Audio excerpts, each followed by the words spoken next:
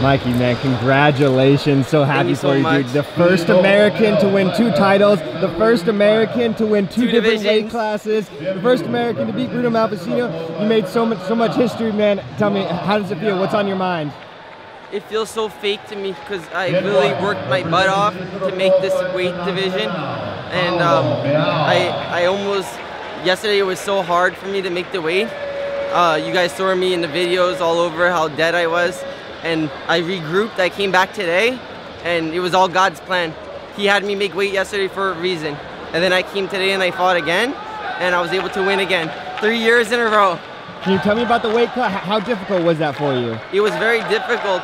I um, it was just I I really gave it my all.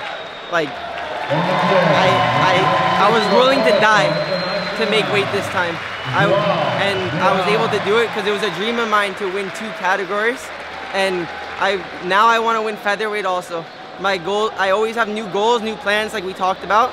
Every year I have a new goal, and I won roosterweight, light feather, and maybe feather next in the future. Not right now, of course. I'm too light for feather, but maybe in the future, you know, You gotta put on some weight.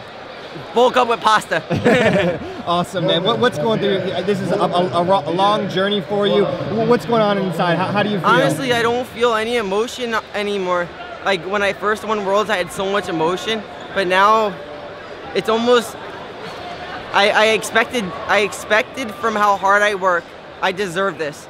Like there's no one that works harder than me, and no one that sacrificed and has as much pain that I've been through in this long jiu-jitsu journey.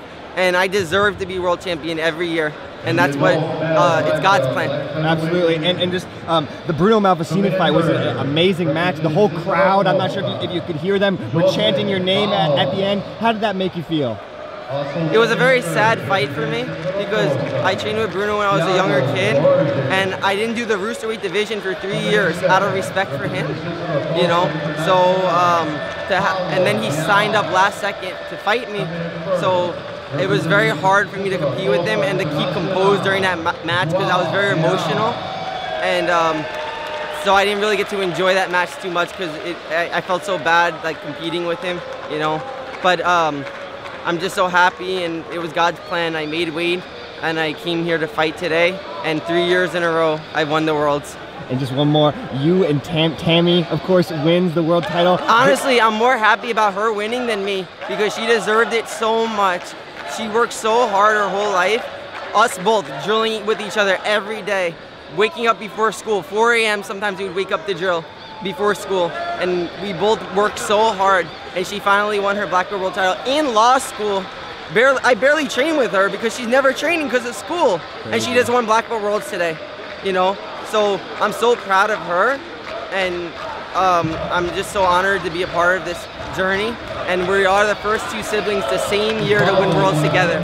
What does that mean to you? It's so big. I always dreamed about that when I was younger, about doing this with her, you know, us winning together.